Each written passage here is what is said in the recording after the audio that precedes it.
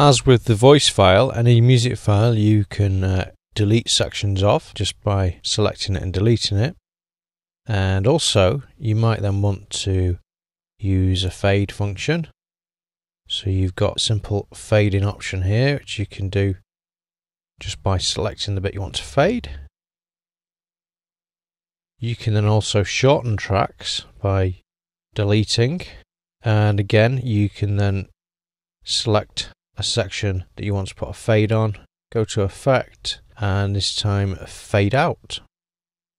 You can also fade in and out using the envelope tool as uh, covered previously, so you could use that for your fades in and out by adding nodes. Point you want to fade, and then drag and drag your node down. There you go.